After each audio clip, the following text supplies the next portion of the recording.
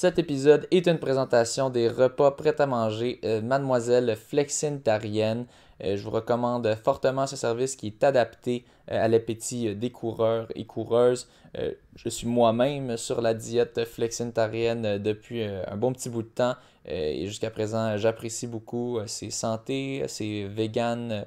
et ben, il y a aussi des options non vegan et c'est à prix très raisonnable. Euh, surtout quand on compare aux autres services euh, qui, chargent des prix euh, vraiment par rapport, surtout pour la quantité qu'ils offrent. Ça, c'est des, vraiment c'est des bonnes portions. donc, allez suivre sa page Facebook, Instagram, Mademoiselle Flexintarienne pour voir les menus des semaines à venir. et utiliser le code promo Monde de la course 10 pour avoir un beau rabais de 10%. Donc, ça rend ça encore plus abordable. Monde de la course 10. Euh, gênez-vous pas. Euh, Mademoiselle Flexintarienne, une petite entreprise locale située à Laval euh, et qui livre à Montréal et aux alentours. Donc, allez-y sur ce. Bon appétit et bonne écoute. Bienvenue au monde de la course. Cette semaine, on est très content. On va avoir, on a beaucoup de, bon, on a un sujet à discuter qui était le, 10 kg, le monde de la course slash on court Montréal, qu'on a fait sur le parcours d'Oncourt Montréal avec un, peloton euh, d'élite euh, comme de très, très relevé, comme on avait vu euh, il y a très longtemps euh, en tout cas, ça faisait assez longtemps qu'on avait vu ça euh, au Québec avec le coronavirus qui a annulé pas mal toutes les grosses compétitions. Euh, merci à Jonathan Tedeschi, Catherine Gagné de vous être joints. Les deux, les deux gagnants de l'édition, merci de vous joindre à nous. Je sais que vous êtes quand même pas mal occupés de la correction hier, des, bon, le train-train qui est quand même quand même busy. donc, merci de, nous laisser un, petit peu de temps pour nous accorder cette entrevue. Euh, juste avant de, commencer, qu'on discute euh, de, vos, de vos courses, euh, on va juste rappeler aux auditeurs les résultats qui, qui, ont été faits. donc, c'était au parc Jean Drapeau, sur le parcours, dans le fond, de la course Doncourt Montréal, qui était censé avoir lieu, puis qui a été annulé environ deux, trois semaines de préavis. malheureusement, pas, c'était trop difficile euh, à faire avec les conditions, la santé publique, etc. Euh, on a eu, bon, ben, en première position, on a eu euh, Jonathan Tedeschi en, 35, autour de 35, 30, 20. je pense que autour de ça. Je pense que tu n'as pas arrêté la montre tout de suite après, puis là, tu as continué un peu le cool down. Mais dans ces alentours-là, 5 secondes près, disons. Ensuite, en deuxième, Anthony Larouche, 30-44. Benjamin Raymond, 30-47. J'ai terminé François Jarry 30-57. Patrice Lamontée, 31-06. Euh, ensuite, on a eu Alexandre Serré, 33-09 et Olivier Cyr, 33-11. Euh, Jean-René Caron a dû abandonner après environ 6 kilos. Euh, et Ryan Shavbutch, je suis désolé, je, je, malmène toujours son nom de famille. lui aussi, dans ces alentours-là, après environ un tour, il a dû abandonner. Euh, et du côté des femmes, toute une performance, Catherine Gagné, ben, toi aussi, euh, Joe, c'était une performance, mais Catherine Gagné qui était vraiment loin euh, devant les compétitrices, 34-54, sub 35. Puis je tiens à mentionner, le parcours était mesuré, c'était c'était pas des temps Strava un petit peu boostés, c'était vraiment sur un parcours mesuré, certifié, et même qui vantait un petit peu. ensuite, Sabrina Saint-Gelais, 36-43. Alex Castonguay, 37-01. Jen Downing Medley 3704. Euh, puis euh, du côté des femmes, il y en avait moins qui faisaient le 10 kg, mais il y en avait quelques-unes qui faisaient un 5, euh, puis qui ont pu se joindre à vous, je crois, pour un tour ou deux. Des fois, je pense que c'était le deuxième tour, en tout cas, que Chloé Grégoire, la gagnante du 5 kg, m'a dit qu'elle s'est jointe à toi, Catherine. elle a fait 17-30, donc à peu près exactement ton split, parce que si on fait 17-30 x 2, ça fait 35 flat exactement. Euh, Muriel Aglo 1830, Laura van der Veyen 1848, Gabriel Champigny 1928 et Hélène Pilène Fortin 1941. Donc euh, maintenant qu'on a un peu euh, donné du contexte pour les auditeurs, on va, tout d'abord, je vais, je vais juste demander pour ceux qui ne vous connaissent pas encore, juste de donner une petite, juste une petite idée de, de, votre parcours. Mettons combien de temps ça fait que vous courez, puis quelle est votre spécialité? Parce que je sais que, bon, euh, Catherine, toi, tu te spécialisais pas mal plus dans le cours avant. Je pense que c'est une de tes, distances les plus longues. Fait que, on va commencer par toi, disons. Pourrais-tu juste nous dire, dans le fond, ça ressemblait à quoi un petit peu ton parcours dans, le monde de la course, très brièvement? Oui, ben, ben, premièrement, merci euh, pour euh, l'invitation puis euh, de nous permettre de parler de cette course-ci, entre autres. pour ma part, ça fait environ une dizaine d'années que je fais de l'athlétisme. Je suis assez récente, là, je pense, là-dedans. j'ai commencé assez tard, là, par 22, 23 ans. J'ai commencé avec le rouge et or, en fait.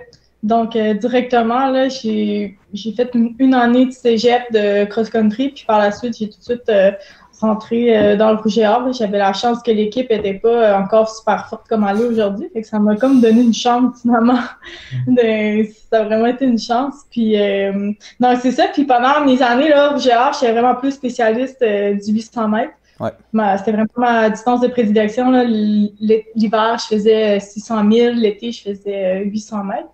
Puis, au terme de mes cinq années universitaires d'éligibilité, mais je trouvais ça un petit peu euh, difficile de continuer le 800 mètres. je trouvais ça lourd physiquement puis mentalement. Puis c'est là que j'ai décidé un petit peu de, de juste faire changement, tu sais, juste me, c'est ça, me changer un peu les idées. Puis euh, j'ai décidé de me donner des chances sur les, les plus longues distances. Puis euh, ben, à date, je suis vraiment contente de, d'avoir fait ça. Mais je, Ouais, fait que c'est pas mal ça mon parcours. Je pense, qu'il y a de quoi être content. Puis j'ai demandé à Mathieu tantôt de, de vérifier c'était quoi les, le pointage IAF pour relativiser c'est quoi. Parce que bon, il y a, moi, à base, je, savais même pas. Je, me doutais que c'était bon, surtout quand je regardais le gap avec le reste de la compétition, mais c'est toujours dur quand, quand t'es pas habitué. Euh, euh, puis bon, là, j'ai comparé avec Mélanie, que elle, elle avait fait, je pense, 35-06. Mélanie Mirand, elle avait fait 35-06 au Vancouver Sunrun, ou en tout cas le 10 kg qui est super rapide, qui est descendant, donc qui n'est pas légal. Puis toi, tu as fait 10 secondes plus vite, puis il vantait. Euh, fait que Mathieu, ça donnait combien en, termes de pointage? ça donne 991 points, le, 34-54. Puis ça équivaut environ combien? Ben, ça équivaut combien pour un? En fait, c'est sub 30 du ce que ça vaut côté homme, ouais. J'ai pas la, le, temps exact, mais sub 30, ouais. Donc, c'était, je pense, ouais, c'était la, une, une, en tout cas, la performance euh, du week-end, du moins côté femmes. Euh, puis je dirais tout con, ben, combiné aussi parce que ben, Joe, sans rien t'enlever, Joe, euh, ça, ça, donne 926 le 30-20. Donc, 926 euh, par rapport à 991 pour 4. Qui demeure très solide, euh, somme tout, en plus avec le vent qu'on a eu. Euh, puis bon, ben Joe, si tu pourrais, Jonathan, pourrais-tu juste un peu t'introduire? Toi, es, dans le fond, tu es initialement un gars de Montréal. là, tu es allé à. Québec. Donc, si tu peux juste brièvement nous raconter ça. Ouais, ben moi, j'ai commencé plus mon parcours avec en commençant au soccer. Dans le fond, moi, mes parents euh, c'est ça, ils m'ont comme transmis ça de très jeune. Là. Fait qu'à 4 ans, j'avais comme un ballon dans les pieds. Puis euh, jusqu'à l'âge d'environ 18 ans. Après, on dirait qu'après le U18 au soccer, on dirait que ça se perd un peu. Il y a plus des ligues d'adultes et tout ça. Mm-hmm. Fait que j'ai été initié, euh, dans le fond, c'est ça. J'avais fait un cross-country à l'île Sainte-Hélène. ceux qui sont à Montréal connaissent bien ces cross-country-là quand on est à l'école, à l'école secondaire. Puis j'avais fini, c'est ça, j'avais fini comme dans le podium avec en, en courant avec des Vans. des Vans! Des Vans. oh my god. comme des souliers de skate, genre full loose. Puis, euh... je pense que j'avais au moins, je, pense que je les avais bien lancés, mais j'avais pas le bon okay. Wow. Wow. Euh, à partir de là, il y avait Jean-François Martel, justement, là, des, des vainqueurs qui me disaient hey, ça ne tenterait pas de, de, de te concentrer un peu sur ce sport-là. Puis, fait que j'ai, euh, j'ai comme un peu, euh, j'ai fait un peu des deux sports comme euh, bon, euh, tout bon élève euh, au secondaire, on, on, explore un peu de tout. Puis par la suite, plus, je, vous dirais peut-être fin de secondaire, là, je me suis plus spécialisé à la course à pied, fait que 17-18 ans. Puis ensuite, c'est ça, ensuite, après, j'ai compétitionné aussi au cégep, Maisonneuve et Antique. Puis après, j'ai décidé d'aller à Québec là, avec le Roger où je suis là, présentement. OK. C'est aussi sur courte distance, Joe? Oui, aussi. Ben, moi, c'était plutôt euh, des plus longues distances là, à la base. donc, euh, je, je vous dirais, tu sais, mettons, moi, ça serait peut-être plus du 3 kg euh, à l'intérieur, puis plus du 5000. Puis du cross-country, j'ai quand même eu des bonnes saisons de cross-country aussi. Là, fait que je vous dirais un peu plus longue que, que Catherine à la base. Okay. Ouais, tous les deux, vous étiez, à la base, je vous connaissais plus pour, mettons, vous étiez plus connus pour vos performances sur piste. Euh, en, toi, plus 5000, 3000, euh, Catherine, 800 mètres euh, principalement. Mm-hmm. Mais c'est ça, avec le cross-country, je pense que ça, ça vous a peut-être un petit peu ça, ça, a fait que la transition était moins euh, rough peut-être pour faire des 10 kilos route. Euh, puis bon, en tout cas, pour l'instant, c'est assez euh, prometteur. Du moins, c'est sûr, c'est pas officiel, mais quant à moi, ça, ça, vaut à peu près un résultat officiel vu que c'était un, parcours mesuré. Puis bon, mhm. c'était à peu près comme une course, il y a juste un petit peu moins de foule. Mais puis dans le fond, je voulais savoir tout d'abord, Catherine, pourrais-tu nous guider un petit peu comment s'est passée ta course? C'était quoi tes attentes? Est-ce que tu t'attendais à faire un sub 35 ou euh, tu t'es surprise un peu euh, là-dedans? Euh, ouais, je me suis moi-même surprise. Là. même que je me souviens que Alex me demandait comment que je visais au total. Puis j'avais comme pas vraiment pensé à ça. Je me suis juste dit, je pars en 330. Puis on verra qu'est-ce qui on verra qu'est-ce qui arrive. Puis si si je tiens, tant mieux. Si je tiens pas, ben c'est pas plus grave que ça. pour moi, c'est ma deuxième tentative là, de 10 km sur route. OK. Euh, donc, euh, je, je, savais que j'étais en forme, je savais que je faisais des bons entraînements, mais de là à dire, euh, ouais, je vais faire sub 35, je l'avais même pas nécessairement en tête. Là. Parce que si, si, tu faisais 3,30, ça te menait à quelle pace? je veux dire, combien? 3,30, c'est 35. 35 flat. OK. OK. Mais là, c'est. OK. Fait que c'était quand même. Je pas. Ouais, ouais. J'y pensais vraiment à un, kilo à la fois. Puis, euh, fait que dans ma tête, j'avais même pas réalisé. C'est comme si j'avais pas réalisé que, que j'allais pouvoir tenir ce pace-là pour toute la course. Mais c'était seulement la deuxième fois que tu faisais un, un 10K en, mode compétition? Comme ça? Sur route, ouais. Ah oui. OK. Puis quand, quand, tu disais, mettons, tu disais, bon, 3,30, euh, euh, est-ce que euh, quand tu, quand tu fais sur piste, un, 10 000 mètres sur piste, tu vises-tu un peu plus rapide ou comment, tu, comment tu fais la. Y a-t-il une distinction à faire entre les deux? Ben, c'est que j'ai pas fait de. J'ai jamais fait de 10 000. Sur, sur piste non plus. OK. Wow. Le 10 kilos, j'en ai fait en cross, mais. Ah, en cross, OK. En country, mais ça, c'est pas, la même chose. Non, non, non, c'est ça. C'est vraiment, je me suis juste dit ça. J'avais fait un bon 5 kilos il y a deux semaines en entraînement aussi. Puis euh, ça m'a fait un 16,50 sur 5 kilos. OK. Fait que je me disais euh, que si je partais en 3,30, là, je me disais, je pense que ça pourrait être, euh, ça pourrait être le, bon, le bon pace. Puis finalement, c'est parti un peu vite, si on, on, revient à la course. C'est parti, euh, c'est Diane qui a pris le livre pour euh, la course. Puis là, c'est parti, c'est le seul euh, split que j'ai regardé. Moi, c'était mon premier split, puis c'était 3,25. Mhm. Là, je me suis dit, à, voir, tu sais, si ça, Si, ça, si ça tient le coup. Puis tout de suite, là, on a pris le vent, puis...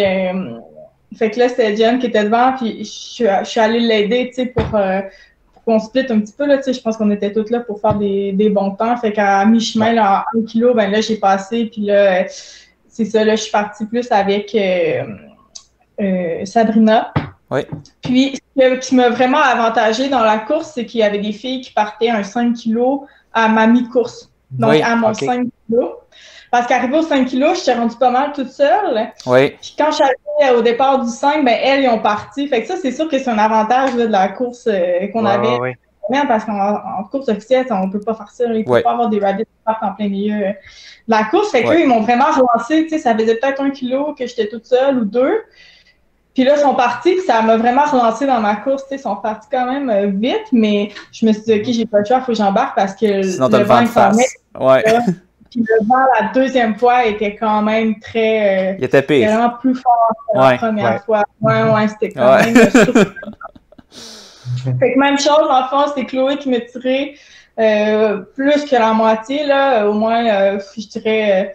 1, 1 à 1,5 kg là, dans stretch. Puis après ça, je ai dit, OK, je vais t'aider aussi, tu sais, parce on faisait, mm -hmm. elle aussi, une course, n'était pas là pour me, me rabiter non plus. Fait que j'ai passé devant, puis c'est arrivé euh, au bout de la stretch, je savais qu'il me restait 2 kilos, puis j'ai accéléré un peu. Tu as tout donné ce qui, ce qui restait, ouais. Ouais, ouais. Ah, c'était le fun. C'est pas mal comme ça que ça s'est euh, déroulé.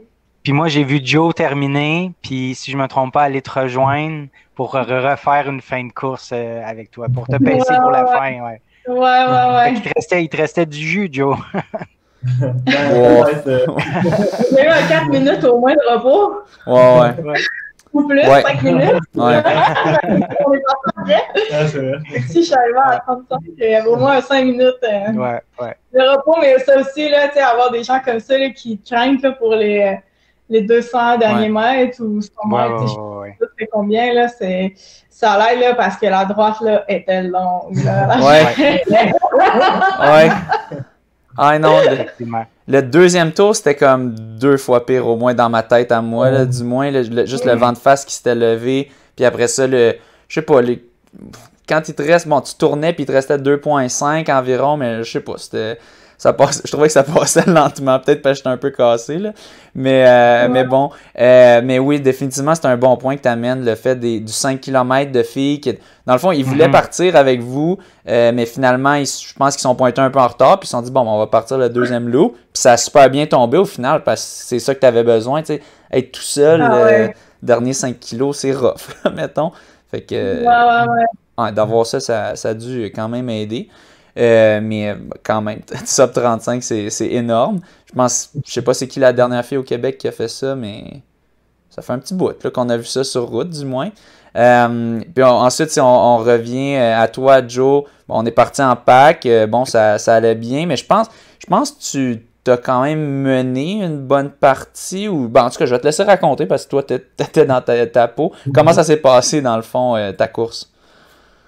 Ben, c'est ça, tu sais, euh, on avait le privilège de, de se parler avant la course, euh, tous les coureurs ensemble. Je pense que ça, c'était un gros plus, là, tu sais. euh, de, des fois, dans les courses, il y a, il y a beaucoup d'imprévisibilité, là. Mettons, il y a quelqu'un qui peut partir super rapidement, tout ça. Donc, euh, on s'était tout un peu, euh, on s'était tout dit finalement que 15-10 ou autour de, c'était pas mal notre objectif. Pour 5 Puis on- kilos, on ouais. aux 5 km, ouais. Ouais.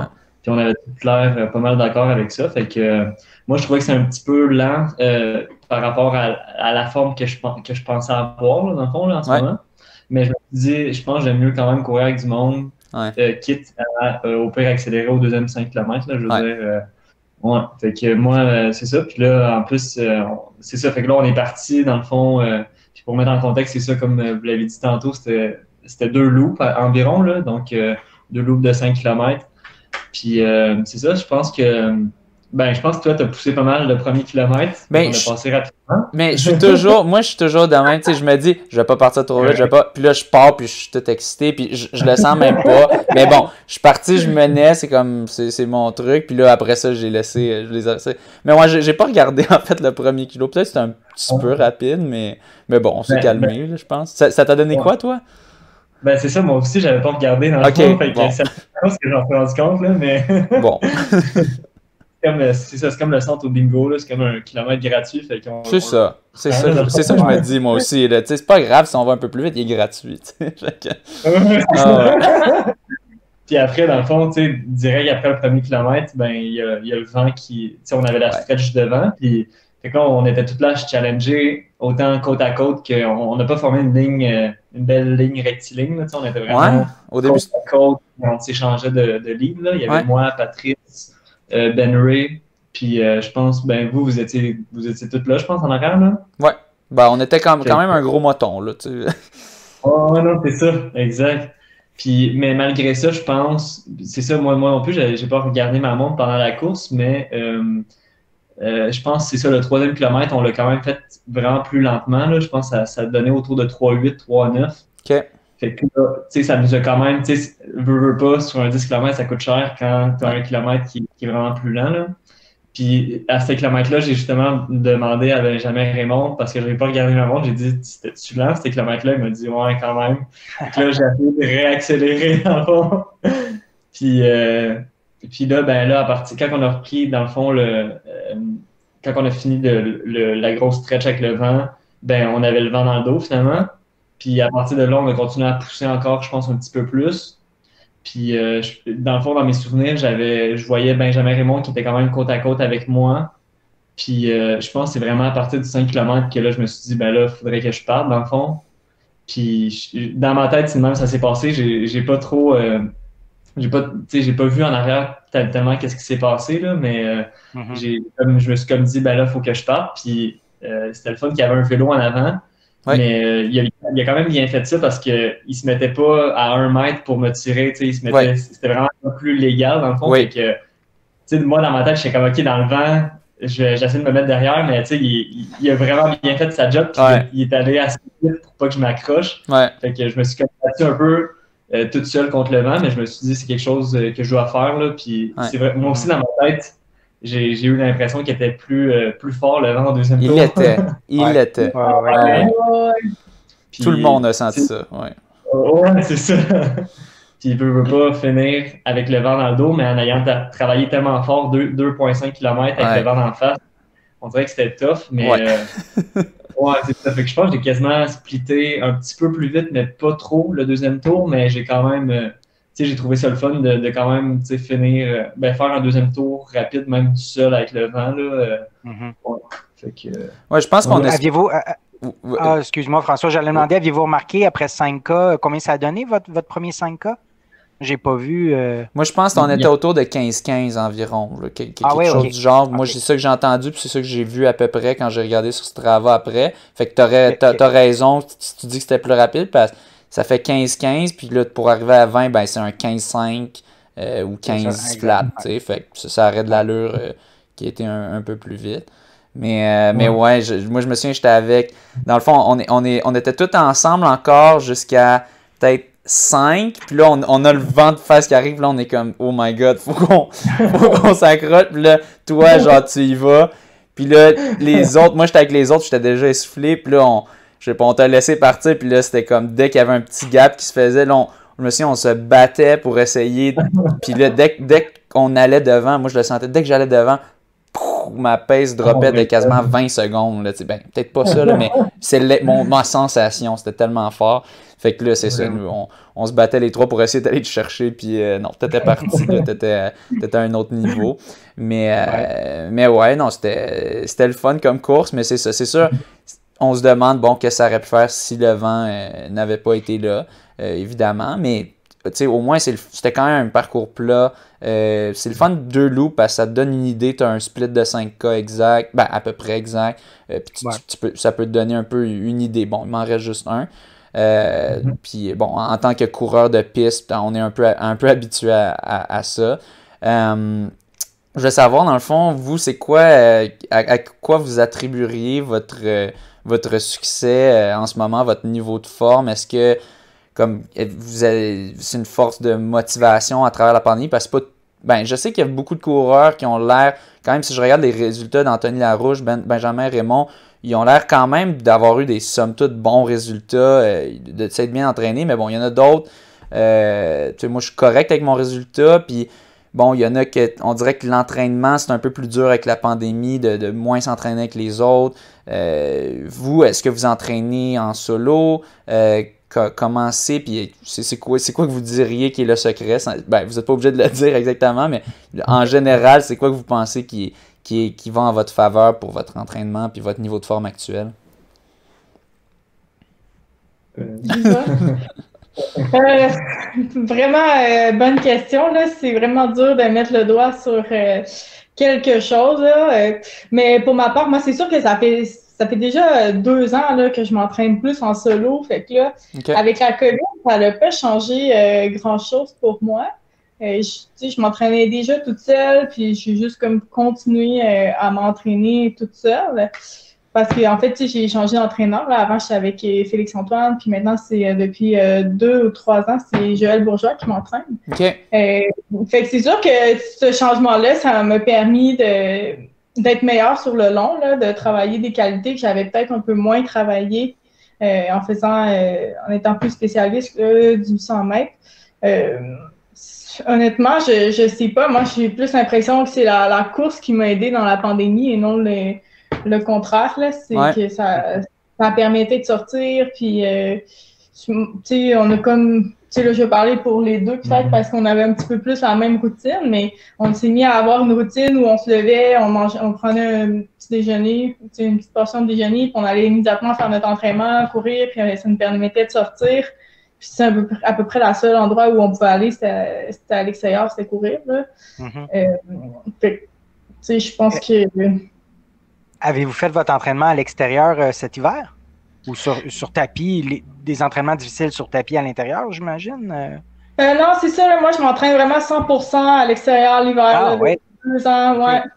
Depuis deux, trois ans. Ben ouais, il y a une année qu'on était en Espagne, fait que c'était pas très difficile, mais euh, depuis deux ans, depuis trois ans, là, je m'entraîne 100% à l'extérieur. Puis Joël, lui, c'est vraiment quelqu'un qui il, est bon là-dedans là, de, de, me dire, euh, de me donner des cues pour me dire avec la température, ah, là, tu peux aller, euh, par exemple, euh, des fois, je fais des entraînements sur la neige, tu sais, qui, quand il fait vraiment froid, la neige, elle vient super taper, tu peux mettre un suite trail, puis tu peux aller faire des intervalles là-dessus. les, entraînements, les entraînements sont vraiment adaptés en fonction des, des conditions, même des conditions du sol. Exact, ouais, vraiment. Puis, mettons, okay, si une tempête, ben, euh, je vais devancer mon, mon entraînement pour euh, pouvoir le faire avant la tempête, euh, etc. Mais je trouve que cet hiver, quand même, c'est vraiment facile là, de s'entraîner dehors. Oh, on n'a pas eu beaucoup de température. c'est pas beaucoup de tempêtes de neige là, où que ça nous empêche non, de Puis à, à, Québec, on a eu beaucoup d'endroits où c'était tapé. OK. Ouais, ça, fait, ça a vraiment facilité. je n'aurais pas de de trucs euh, magiques, là, euh, je pense que... Mais c'est la constance, mais, déjà, pour vous. Oui, la constance, puis... Ouais, puis de pouvoir s'entraîner, de pouvoir continuer l'entraînement comme ça à l'extérieur l'hiver. Si on est obligé de réduire ou de constamment adapter l'entraînement à toutes les semaines à cause des conditions extérieures, c'est là que ça ajoute une couche de complexité. Mais euh, si tu n'as pas eu ça, c'est super. C'est vraiment super. Mm. Voulais-tu rajouter quoi, Joe? Ben, tu sais, admettons, tu l'as nommé rapidement, là, mais tu parlais de constance, là, puis, euh, tu sais, euh, qu'est-ce qui est le fun avec Strava, je trouve, c'est justement ça, c'est voir ton, ton diagramme à bande, là, finalement, là, puis voir si à travers les, ben, c'est ça, c'est à toutes les semaines, tu vois toutes les semaines, puis, euh, tu sais, moi, je comptais ça parce que, admettons, quand je vais chez la physio, elle, me dit, admettons, ça va comment, puis tout ça, puis là, je me dis, ben, j'allais voir sur mon Strava, voir comment ça va, depuis combien de temps ça va, tu sais. Mais ça fait 15 semaines que je suis en haut de 100 km et que ça va quand même bien, tu sais. ouais, c'est ça, tu sais, quand, quand c'est rendu que tu comptes plus quasiment en mois ou en trimestre mm-hmm. ton, niveau de forme, tu sais, ton niveau de constance, je trouve que ça, ça, ça, ça, peut, ça peut expliquer une partie, je pense, de d'une de, de, réussite, admettons, là, mais ça n'explique pas dans le sens que euh, admettons, euh, je pourrais dire que moi, mettons, euh, je, suis peut-être plus atypique à Québec. je suis un coureur qui court super lentement, si je me compare aux autres coureurs. Là. Ah ouais? Euh, mais, OK. Ouais, je te jure. C'est quoi ton pace de jog? C'est genre 4,30 environ. Tu sais, 4, elle court plus vite que moi. Genre, OK, OK. C'est pas des blagues, là, tu sais. Puis, admettons, moi, 4,30, je suis quand même bien. Puis, des fois, c'est ça, on va courir les deux ensemble parce qu'on a le même pace de jog, tu sais. Puis, ouais. ouais c'est ça, je sais pas, moi, c'est comme un pace que, dans lequel je suis bien. C'est sûr que euh, des fois, je peux aller plus vite, mais on dirait que je sens pas la nécessité d'aller plus vite, puis on dirait que je suis bien à, un certain rythme. Puis, euh, mais Crème, ils joguent à combien les autres gars de Québec? genre, toi, t'es à 4,30 puis tu sais, t'es lent. fait qu'eux, ils joguent à genre 4 flats ou c'est quoi? Euh? Ouais, ben, ouais, c'est pas mal ça. Là, oh, ok. ok. Fait que euh, moi, j'essaie d'influencer tout le monde pour courir un peu plus lent parce que sinon, on peut pas courir ensemble. ouais. Mais sinon, ben, euh, on a eu la chance de, de pouvoir s'entraîner quand même tous, euh, ben, un, un bon groupe de gars, une coupe, une coupe qui était là à la course justement en fin de semaine, on, s'entraîne quand même ensemble. fait que ça, c'est sûr que ça l'aide justement d'avoir des, des, personnes du même niveau qui s'entraînent ensemble. Fait que moi, moi, vraiment, un peu ma philosophie, c'est je me donne quand même aux entraînements euh, d'intervalle, d'intensité deux fois par semaine, mais le reste du temps, je vois ça plus comme, comme une récupération euh, plus active. Oui. Puis, euh, Exactement. Faire, du volume lent, dans le fond. Oui, c'est ça, exact. Vraiment. Mm. Mm. Cool. c'est cool. Puis je suis curieux, il me semble, je sais pas, j'avais vu, je pense que tu étais vegan pendant un bout, ou est-ce que c'était encore le cas, ou pour côté nutrition, ou plus, ou? ouais, les deux, dans le fond. Ben, c'est ça, moi et Catherine, on, on est ensemble les deux, puis ouais, ça fait, moi, ça va faire environ cinq ans que je suis. Euh, c'est ça, j'ai commencé comme le, typique, là, je pense Catherine aussi, là, plus avec un régime euh, végétarien. Fait que, on incluait encore des, euh, des, produits animaux. Puis je vous dirais, dans le fond, aujourd'hui, on est peut-être plus vegan. C'est rare qu'on va acheter des, produits d'origine animale, animale plutôt. Ouais. Mais quand, on va au restaurant ou on se fait inviter, on est, on, on, va pas aller jusqu'à manger des animaux morts, mais s'il y a du fromage, du lait, tout ça, on, va quand même être oui, c'est ça. Ok, ben c'est drôle, c'est quasiment euh, ma philosophie, mais juste je, je, cheat un peu plus que vous, là, je, je triche un peu plus souvent. mais euh, cool, cool. Euh, ouais, cool. Ben bon, ben merci beaucoup ben, de, de, nous avoir accordé de votre temps pour euh, nous, jaser de votre course puis votre entraînement, nous avoir partagé un peu la clé, euh, qui j'ai l'impression c'est la constance, du moins en tout cas. Puis si on demande à d'autres coachs, c'est un peu ça aussi. Puis juste avant de, nous quitter, euh, pourriez-vous nous dire un peu c'est quoi vos, objectifs, du moins à court terme, parce qu'à long ben, à court ou à long terme, je, vous laisse, je vous laisse y aller. Disons quatre en premier, ensuite Joe. Mm-hmm. Euh, ben moi, mes objectifs, c'était vraiment de faire un 1500 puis 5000 sur piste. C'était plus sur euh, ces deux distances-là là, que je voulais vraiment sortir des gros temps euh, cette année. Fait que c'est ça. Je sais pas plus à dire que ça sur mes, mes objectifs. C'est vraiment difficile, je trouve, à ce moment-ci. De prévenir, ouais, de prévoir. de prévoir. si je peux courir un 1500 puis un 5000 cette année sur piste, je serais vraiment contente. Cool. Puis ben moi, pour ma part, dans le fond, pour faire une petite, vraiment une mini parenthèse, dans le fond, c'est ça, j'ai été blessé quand même un, un, bon bout de temps, tu sais. Fait que puis ça a été, dans le fond, avant ma blessure, ça a vraiment été mes, mes années, ben mon année glorieuse, là, dans le sens que, tu sais, c'est là que j'ai fait mes PB, tout ça. Fait que euh, moi, c'est sûr que j'aimerais ça me rapprocher de, de ce niveau de forme-là. Puis, euh, ben, c'est ça, tu sais, les, les, distances, ça serait plus, euh, moi, peut-être 5000, là, j'aimerais ça, puis peut-être même descendre. Là, je sens que j'ai encore de la vitesse. Fait que ah peut-être faire du 10 km, mais plus sur route, là, je pense que j'aime ça. Euh, j'aime moins tourner 25 tours que faire deux tours autour d'un bassin. ah non, c'est pénible. 10 000 mètres piste, là, ça, ça me manque pas trop, cette, cette affaire-là. Ah non. Euh, puis vite fait, euh, chez Catherine, toi, tu es aussi, euh, tu as une page d'entraînement kinésiologue. Si tu veux vite, rapidement nous dire c'est quoi le nom de ta page Facebook, puis Patreon, dans le fond? Oui. ben, ma page Facebook, c'est Catherine Gagné, kinésiologue, entraîneuse. J'ai plusieurs choses. Là. Je s'entraîne tant au niveau de la course individuelle, je fais des muscu aussi, tant pour les coureurs ou pour tout autre euh, personnes là, qui auraient besoin de muscu, entre autres pour les personnes qui ont des douleurs, euh, ça peut vraiment euh, se régler là, par des exercices de musculation. Aussi un Patreon où je fais des entraînements en ligne, donc je fais autant des hits, des tabata, qui sont des entraînements haute intensité, que une progression de musculation pour coureurs. Donc ça, c'est sur Patreon, patreon.com baroblique Catherine Gagné-Kim. C'est au coût de 16 par mois. Puis vous avez une banque, là, je suis rendue à au moins 60 entraînements euh, dans ma banque d'entraînement. Donc, euh, il y, a, du choix. Euh, oui, il y a du choix. Puis, c'est ça. C'est autant pour les coureurs que pour aussi les gens qui veulent faire des entraînements pour être en forme ou rester en forme. C'est c'est pour tout le monde. Super. C'est peut-être ça la clé du succès finalement, faire de la musculation comme Catherine à toutes les semaines. Faudrait que je m'y mette, moi. Toi, t'es-tu fort là-dessus, Joe?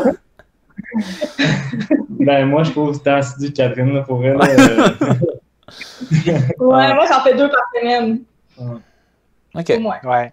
Mais, mais tu es bien placé, euh, Kat, pour dire que c'est vraiment, ça vaut la peine de faire de la musculation pour la course. Mm -hmm. ah ouais, vraiment. Euh, ouais. Ouais, c'est que c'est quoi pour euh, surtout la prévention des blessures là. Ouais on peut euh, s'empêcher d'avoir des blessures pour continuer à progresser, là, je pense que ça peut être euh, hmm. vraiment euh, bien. Là, puis au-delà de ça, ben, après ça, tout ce qui est économie de course, puis c'est vraiment au niveau de la musculation. Oui, les entraînements, c'est sûr que la, la clé, c'est de s'entraîner à la course. Là. On va pas devenir bon en courant pas en faisant de la musculation, mais d'ajouter au moins une séance de musculation, là, je pense que c'est vraiment. ouais. Ouais. Mais je pense que c'est ça. On, je pense on essaie de se convaincre de ça. Oui, puis je, je, pense, je pense que c'est ça. C'est c'est indirectement, ça va t'aider parce que ça va donner la constance, dans le fond, de, vu que tu te blesses pas. Donc, euh, ouais, mhm. un, un, lien indirect, puis peut-être un peu direct avec l'économie de course. Puis, euh, Joe, euh, toi, t'avais-tu quelque chose à plugger ou, ou t'es es correct comme ça? ben non, man. ben, merci pour l'invitation. Pour vrai, c'est. merci. merci à vous. C'est le fun de découvrir tu sais, quand on voit d'autres coureurs, d'autres coureuses après des courses, on dirait qu'on a comme un deux minutes de se dire salut, ça va bien, mais finalement, c'est pas, pas des conversations très profondes. Fait que je trouve ça le fun de prendre le temps de, de découvrir des gens, puis pas juste des coureurs, coureuses, des gens autour finalement de l'athlétisme. Fait que mm-hmm. je trouve ça super le fun comme podcast, là, bravo. Super. merci. merci à vous de, nous donner de votre temps. Moi je, voulais, moi je, voulais, vous remercier. Ouais, en fait, je voulais vous remercier d'être venu à Montréal aussi pour cette euh, compétition maison-là, avec d'autres aussi qui sont descendus de Québec. C'est vraiment, vraiment fin de votre part. Ouais. merci. merci. Ben, super, merci. Merci beaucoup. Euh, merci de vous être joint à nous. Euh, puis bon, vous pouvez peser sur le, petit bouton rouge, puis nous, on va continuer à jaser euh, pendant un petit bout encore. Fait que merci beaucoup. Ciao, bonne course à vous autres. merci beaucoup. Merci. Salut. Super. Donc, smooth transition et nous sommes de retour à nous deux. donc, Mathieu, je vais t'inviter à aller, aller dans le keep. Je vais continuer. Inquiétez-vous pas, c'est pas tout. on va, on va, on a un, peu jasé, on a beaucoup jasé en fait du 10 km du monde de la course qui, avait lieu ce dernier week-end. mais on va recevoir un peu plus tard Jean-René Caron. Je sais qu'il y en a peut-être qui, je sais pas si on l'avait déjà mentionné qu'on allait le recevoir, mais là je le mentionne. Donc, je sais qu'il y a beaucoup d'auditeurs qui voulaient avoir son avis euh, sur sa course, bon, qu'est-ce qui qu'est-ce qui s'est passé, euh, tout ça, comment va l'entraînement, etc. Euh, on va le recevoir très bientôt. Et on jasera un peu plus de la course à ce moment-là, comme ça pour, pour pas que je me répète, répète, répète encore mille fois sur le sujet. non, mais toi, as-tu le goût, as-tu le goût de nous dire, toi, comment tu as, un petit deux minutes, nous dire comment toi, tu as, vu, vécu cette course-là?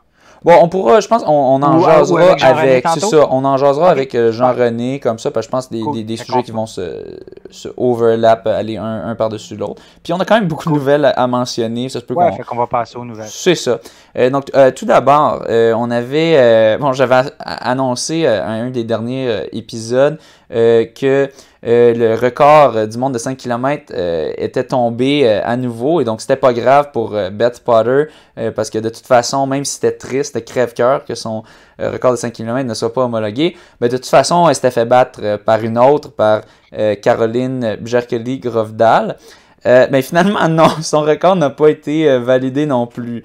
pourquoi? Bon, encore une fois, je pense qu'il manquait euh, le, le, test, euh, ben, le, test d'antidopage, si je ne m'abuse. Et aussi, euh, le parcours avait été mal mesuré, ou peut-être qu'il avait été pas mesuré, puis ils ont vérifié après, et il manquait 12,5 mètres au parcours. Et là, pour ceux qui se demandent, ben, est-ce qu'elle aurait eu le record? L'ancien record, disons, disons à cette vitesse-là, quand tu cours ton 5 km en 14,39, 10 mètres, tu cours, à 3, tu cours en bas de 3 minutes du kilomètre. Donc, si tu cours à 3 minutes euh, du kilomètre, 100 mètres, c'est 36 secondes. Donc, euh, si je divise ça par 10, c'est 3,6 secondes pour 10 mètres. Euh, donc, ça lui aurait fait 3,6 secondes de plus. Elle aurait à peu près égalisé, disons, en arrondissant ça à 4, en arrondissant ça à 5 secondes. Elle aurait quand même battu le record, je crois, euh, parce que, bon, elle n'aurait pas dû le temps de Beth Potter, mais c'était pas un record non plus. Euh, donc, je crois quand même qu'elle aurait eu euh, le, record. donc, bon, c'est un petit peu crève-cœur parce que à cause de ces quelques mètres qui manquaient, ben, elle l'a pas. mais ça nous rappelle l'importance d'avoir un parcours mesuré. C'est pour ça que j'étais j'étais tellement content. Puis je remercie encore l'organisation d'Oncourt Montréal de nous avoir laissé les balises euh, pour euh, le parcours. C'est super cool de, leur part. Comme ça, on, pouvait savoir exactement euh, le, départ du 10 km, le départ du 5 km, puis l'arrivée pour avoir une mesure exacte. Si on regarde les temps Strava de nos courses, c'était pas les bons temps. C'était pas les temps qu'on a eu sur nos montres. puis je, je, fais 100% confiance au temps qu'on a eu sur nos montres parce que le parcours était certifié. Il y a quelqu'un qui a pris son compteur Jones, qui a calibré, qui l'a calibré sur son vélo, euh, qui a fait la distance euh, et qui a, bien certifié ça. Euh, donc ça, c'est vraiment un, pourcentage d'erreur minime comparé au GPS, qui est quand même significatif. Donc, c'est ça. Assurez-vous d'avoir un, parcours vraiment certifié si vous voulez être sûr de votre performance. Hum, ensuite de cela, on a eu Charles Philibert Thibouteau qui a fait un 3.37.08. qui était son meilleur 1500 mètres depuis 2007, 2016. C'était au Oregon Twilight, donc sur 1500 mètres. donc, une, très bonne performance. Je sais qu'il vise quand même le standard. et bon, le, standard, je crois que c'est en bas de 3,36, si je ne m'abuse. 3,35 que je vois ici. 3,35, ok. Donc, euh, donc euh, il, est pas loin, il manque deux secondes environ euh, pour aller chercher ça. il le veut. Puis là, il, il faut qu'il l'ait parce qu'il y a. Ben, tout d'abord, c'est ça que ça prend pour participer aux Olympiques, ça prend le standard. et il y a, la compétition est quand même féroce. il y a, entre autres, Justin Knight. Je vais t'inviter, Mathieu, à aller voir euh, aller ouvrir l'article. Attends, je vais, je vais l'ouvrir moi aussi, mais ça se peut que je sois un peu plus lent. Fait que si tu l'as tout de suite, euh, vas-y. Justin Knight euh, qui a fait un 3.33.19. Ouais, ouais. 3.33.19. Euh, ouais, c'est ça, 3.33.19. Il a fait ça il y a quelques jours. il est très rapide. Il a fait ça en fin de semaine. Il a fait ça dimanche, en fait. Puis Justin Knight, il est tout jeune. Là. Il, est, pas vieux. Si tu veux googler son âge, parce que là, il, me sort de la tête, mais je sais qu'il est plus jeune que moi. Je pense qu'il est autour de 25-24 ans. un jeune prodige canadien. Lui, c'est tellement drôle. Je pense que j'ai déjà raconté au podcast, mais brièvement. Euh, son premier 5000 mètres, je pense, il a couru en short de basketball. C'était comme. Euh, je pense qu'il n'y avait pas des souliers de course, il y avait, je pense qu'il y avait des souliers de basket, quelque chose du genre. Donc c'était. 1996, euh, donc il va avoir 25 ans le 19 juillet. Ouais. Puis lui est déjà. il a déjà le standard au 5000. et là, il l'a maintenant au 1500. Donc, il y a tout un luxe. Maintenant, c'est il va devoir essayer de savoir lequel il va choisir. parce que je pense je sais pas si tu peux faire les deux, mais j'imagine peut-être ça tombe des jours trop près euh, ou juste que l'entraînement est un petit peu trop différent, puis tu peux pas être au top de ta forme pour les deux. Euh, mais, euh, mais bon, c'est quand même tout un luxe de, pouvoir choisir, dans, quelle épreuve. C'est ça, c'est un luxe que je pense très peu d'athlètes ont même besoin de ça. La plupart veulent juste avoir un temps de qualification, puis ils sont bien contents avec ça. Euh, mais la grosse surprise, euh, selon moi, euh, c'était Julianne Stiley qui, bon, elle avait fait 15, 24, 66 quelques jours plus tôt. ça, c'était au Kansas City Qualifier. puis bon, je pense que c'était pour se qualifier pour, pour la compétition suivante quelques jours plus tard, environ 3-4 jours plus tard. 15, 24, 66. Le standard est de 15, 10 fallait qu'elle aille chercher 15 mhm. secondes. Aller chercher 15 secondes sur un 5000 mètres, quand tu es à ce niveau-là, -là, c'est pas facile. Comme, Moi, c'est comme si j'allais sub 14. Là, puis je, je pense pas que. J'ai des doutes, voire doutes que je vais faire ça un, jour. Bon, mais je pense que je me concentre un peu plus sur le marathon. Je pense pas que je vais gagner beaucoup en vitesse euh, en vieillissant. Euh, elle a fait 15.02.34. Elle est allée chercher plus de 22 secondes euh, c'est complètement malade pour aller chercher le 10 standard. Jours, 10 jours plus tard. Hein? 10 jours, ok, c'était 10, jours. 10 jours plus tard. Je pensais que c'était comme 3 jours, mais c'est fou pareil. Ben, quand même, c'est fou. Le 1er mai, c'est ça, 15-24. Puis euh, en fin de semaine, là, euh, le 9, 15-02. Ouais. C'est complètement débile. Elle doit, elle doit complètement capoter. Bon, c'est sûr, côté féminin, c'est quand même très. c'est quand même, il y a beaucoup de compétition. Euh, mais bon, je pense que ça lui donne des, bonnes chances. En même temps, s'il y en a plusieurs qui sont euh, plusieurs femmes qui, ont le standard, euh, j'imagine qu'ils vont y aller avec celles qui ont le plus souvent répété. Parce que là, peut-être qu'ils se disent, bon, peut-être qu'elle a juste eu sa course de sa vie puis que ça, ça arrivera plus à nouveau. mais quand même, c'est très fort. Fait que je, je sais pas, ça a été à suivre, mais toute une performance de l'athlète que c'est vraiment été elle n'était pas inconnue, elle était quand même euh, relativement connue, mais c'est un gros changement. Je pense que ça, ça, va quand même euh, pas mal la mettre sur la map, euh, comme on dit.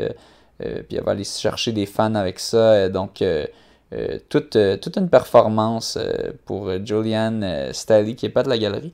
il m'en manque-tu un? Il y en avait un, une troisième performance. Il y a Natalia, Natalia Athorn qui a aussi eu le standard olympique. Oui, Athorn. Elle, c'était sur quelle distance? Elle aussi, c'était sur le 5000, euh, le 5000 aussi. Puis euh, on a aussi, ah oui, c'est ça, c'était, euh, Il y avait, je pense qu'il y avait Melissa Bishop qui avait fait un, temps. Bon, il y a plusieurs résultats canadiens. Je sais que ça, bon, ça intéresse certains auditeurs de podcast, mais, mais bon, quand la plupart sont intéressés surtout sur les gros résultats québécois. Donc, on regardait ça aux grosses, grosses performances stand-out, si on veut, vraiment qui, qui, qui, sortent de l'ordinaire, disons. si, si on revient à Charles, euh, Charles, quand il a fait le 337, c'était en cours de semaine. C'était à Oregon, au Oregon Twilight. Mais ça disait qu'il allait aussi avoir une course le dimanche en Californie. Sauf que quand on regarde dans, dans, dans l'article actuel, qu'on parle des Canadiens qui ont eu le standard, ça veut dire qu'il aurait fait son 1500, mais il ne l'aurait pas eu. Ben, je, vois, vois pas son résultat euh, là. Va donc, va donc googler ça pendant que, je continue euh, à, parler. à parler. Euh, donc, je vais dire, tiens, pendant ce temps-là, je vais vous dire un petit fait divers, puis après ça, on pourra retourner sur ton article du Journal de Québec. Euh, dans le fond, petit fait divers, euh, on a un, coureur, un coureur en Crocs, les, fameuses espèces de sandales que beaucoup de monde trouve hideuses. il avait déjà fait, je pense, un record de demi-marathon en Crocs, qui a quand même un temps respectable. Je pense que c'était une 11,53. Euh, et euh, bon, euh, là, il s'est tapé un 5000 mètres sub 15 en 14,47,62 en Crocs. Donc, pourquoi Vous poserez la question? ben, pour faire parler de lui, je suppose. je sais pas trop. c'est quoi l'intérêt de ça? Peut-être qu'il adore le confort des Crocs. Bon, personnellement, j'ai pas de Crocs, donc je pourrais pas dire. Je pense que j'en ai déjà porté euh, par le passé quand on m'en prêtait ou quoi. Euh, mais je me souviens pas que c'était particulièrement confortable ou inconfortable. Mais il me semble, je sais pas, le caoutchouc à un moment donné, ça doit comme un, peu irriter. Mais bon, j'imagine que c'est bien fait pour son pied. Son pied aime ça. Euh, et il aime ça. son nom, je vais essayer de retrouver ça, Benjamin Pachev. Benjamin Pachev, il a couru ça à Portland. donc, petit fait petit fait euh, divers cocasses. Puis son père aussi, euh, son père euh, Sacha, donc j'imagine son russe ou ukrainien, qui lui avait fait une 17-26 en demi-marathon en Crocs lui aussi. Donc c'est une affaire de famille, cette affaire de, de Crocs en série. Ensuite de cela. ok, j'ai trouvé, euh, trouvé, si je peux me permettre de te couper. Oui. Euh, je viens de trouver un article du Journal de Québec euh, du 10 mai, donc hier. un obstacle s'est dressé sur la route de Charles Philibert Thibouteau dans sa quête d'une deuxième participation aux Jeux Olympiques. fort, fort, satisfait de sa prestation de vendredi à Eugene, en Oregon, où il a signé un 3,37 sur le 1500 mètres. Le coureur a eu une mauvaise surprise après la course. Je me suis blessé au tendon d'Achille après seulement 50 mètres quand un coureur m'a pilé dessus. Fait que à sa course d'Oregon, là, il, c'est ça, il se serait blessé à sa, au tendon d'Achille, donc il a pu compléter sa course. Mais probablement que c'est ça, celle de, de, dimanche, là, à Walnut, en Californie, il n'a pas pu la faire. Ah, donc il a dû devoir se retirer de l'épreuve, fait que c'est pour ça, ouais. C'est, ça, c'est dur, c'est un peu... Euh, bon, c'est pas l'histoire de sa carrière, il a fait les Jeux olympiques quand même, mais suite aux Jeux olympiques, puis peut-être même avant, il a souvent été euh, blessé. Bon, euh, diverses blessures, c'est pas facile. puis bon, là, ça, revient le hanter à nouveau. Donc, bon, on espère que ça va pas durer ben, trop longtemps. Moi, je m'excuse, j'avais pas bien compris le texte. Ce C'est pas lors de la course là, en Oregon, c'est vraiment lors de la course en Californie dimanche. Là. après seulement 50 mètres, c'est ça, quelqu'un lui a pilé dessus. Dans la course. l'équipe, dans la course à, Walnut. Puis l'équipe médicale leur ont dit que son tendon, il semble correct, mais que la coupure est pas euh, parce que la coupure est pas assez profonde. Fait que ça serait ça se serait produit à cette course-là de dimanche. OK. Donc il a pris le départ finalement de la course du dimanche, euh, mais, euh, mais il s'est blessé à 50 mètres après être parti. Donc un peu un peu malchanceux. en fait très malchanceux. mais bon, c'est ça un petit peu, c'est ça le, compétitionner au niveau au, à haut niveau, c'est souvent très crève-cœur. Euh, mhm. C'est ça. Euh, je vais te laisser y aller avec ton il va, il va se reprendre. Euh, il, y a, il, y a, une autre course vendredi qui vient là, si, si, la blessure, si la blessure a disparu. OK, au moins. C'est ça qui est le fun avec la 1500, c'est que tu peux en faire back à back à back à back. Contrairement au marathon, que tu en fais un, puis ça passe sous sa corde. 1500, bon, tu en as un de marde, bon, tu en fais un autre après. là, ça pardonne pas. Ouais. le marathon, je veux dire. Mais le 1500, ça pardonne un petit peu. Mais bon. OK, vas-y. C'est ça, en fait, ben, il, y a, quelques semaines, trois, quatre semaines, on parlait de l'organisation de courses, que les organisateurs des courses qui ne savaient pas trop il n'y avait pas vraiment d'informations euh, euh, de la santé publique, tout ça, pour vraiment pouvoir planifier des, courses. Puis là, on est comme euh, un mois plus tard, puis il vient d'avoir un article aussi dans le Journal de Québec par rapport à ça, puis il semble qu'il n'y a vraiment pas de progression depuis un mois. Je peux vous lire un peu une partie du, texte. c'est ça, dans le fond, c'était dans le journal du 8 mai. le retour du beau temps et la campagne de vaccination qui bat son plein laisse entrevoir l'espoir qu'il y aura bel et bien une saison de course à pied après l'hécatombe de l'an dernier. Euh, les organisateurs restent toutefois sur leur garde en l'absence de mesures de déconfinement visant à leur permettre de planifier leur événement en bonne et due forme. Donc, euh, du 1er avril 2020 au 31 mars 2021, donc pendant un an, il y a eu seulement sept courses euh, sanctionnées par la Fédération québécoise d'athlétisme au lieu des quelques 130 prévues au programme. Euh, c'est une diminution de 95% par rapport à, une période pré-pandémique. ça, c'est des courses qui sont affiliées à la fédération. Là. Ça fait pas, ça calcule pas toutes les autres courses aussi là, qui sont pas affiliées à la fédération qui auraient été annulées c'est ça, c'est vraiment une année euh, d'hécatombe. Euh, il y a euh, Marie-Lou Ferlandaigle, coordonnatrice de course sur route en sentier à la Fédération, qui dit J'ai beaucoup de gens qui m'ont dit que si leur événement ne se déroulait pas en 2021, il ne pourrait pas être de retour en 2022. il y en a pour qui la situation est critique. Là, on parle des organisateurs, on parle pas des participants. Les participants, on est capable de d'attendre. Euh, ben, c'est chiant, mais on peut attendre une autre année. Mais c'est pour les organisateurs. C'est, Tu peux pas. Il y en a un moment donné, tu as des budgets, tu as, tellement d'organisations, tu pas envie. C'est pas du bénévolat. Oui, oui, il y a une partie de bénévolat, mais il faut que tu te fasses payer pour ton temps à un moment donné. Puis là, quand tu te mhm. fais toujours cracher d'en face de ben là, euh, ça se peut que oui, mais ça se peut que non. Puis que là, ah non, finalement tu peux pas. Puis ah oui, finalement tu peux. Ah non, finalement tu peux pas. Tu sais, il y a personne qui a envie de faire ça. Là. C'est ça, tu veux-tu vraiment mettre tous ces efforts de temps-là et, d'argent, parce qu'à un certain moment aussi, il faut dépenser. Là. Donc, tu veux-tu vraiment tout faire ça en, sachant pas si la course va avoir lieu? Euh, puis, tu sais, c'est bien beau que les gens s'inscrivent, puis là, tu as l'argent des inscriptions, mais il faut que tu la gardes en, je vais dire, en fiducie, parce que quand, si c'est annulé, il faut que tu rembourses tout le monde. Fait que tu peux pas y toucher à cet argent-là. Là. Fait que euh, je, vais, continuer. Euh, Marie-Lou Ferlandeg qui continue, qui dit euh, Bon, je crois qu'on aura une saison de course adaptée, mais je ne sais pas quel pourcentage d'événements pourront tenir le coup et répondre aux exigences sanitaires. Ce n'est pas juste une question financière. Ces événements sont organisés par des gens qui mettent beaucoup de temps. Après deux ans à avoir la vie dure, ça affecte la motivation. Donc, même s'il y a de l'espoir pour la saison 2021, euh, que ce soit mieux que celle de, l'année passée. Euh, il en demeure que pas moins que pour l'instant, c'est le grand flou euh, dans le milieu de la course. Ce qu'on aimerait, c'est de pouvoir connaître le plan de déconfinement du gouvernement. On aimerait au moins connaître les séquences, les phases, les étapes qui s'en viennent. En connaissant les étapes, au moins, ça nous donnerait une idée de la progression à suivre. À ce jour, on n'a absolument rien sur ce qui s'en vient. Ça, c'est l'histoire de tous les milieux. Tous les milieux, l'enseignement, tout, on sait rien. On apprend tout le temps, tout mm-hmm. en même temps que tout le monde. Fait bon, mhm. c'est à, quel point est-ce qu'ils peuvent faire ça? Je pense pas qu'ils vont pouvoir faire ça. Je pense pas qu'ils vont le faire pour la course, mais c'est que c'est frustrant parce que, tu sais, la, la, on, on, a jasé de ça. L'activité physique était le facteur modifiable le plus important pour se sauver de la COVID. Pour ne pas mourir, pour ne pas avoir de complications, pour ne pas se rendre à l'hôpital aux urgences de la COVID. Facteur numéro un. Puis on a plein de choses qui peuvent contribuer à ça. C'est sûr, c'est pas une course qui va te rendre en santé, mais c'est une course qui va te motiver quelqu'un à, ben sortir de chez un objectif. Mais ben oui. Tu sais, il y, a des gens là. Je, bon, je sais pas c'est quoi le pourcentage de gens qui en ce moment ils restent chez eux puis que s'il y avait une course à faire, ils sortiraient. Mais j'ai l'impression qu'en mhm. général, il y a, ça, ferait monter ce taux-là de, gens qui vont juste aller courir parce qu'ils savent qu'ils ont, qu'ils ont quelque chose qui s'en vient.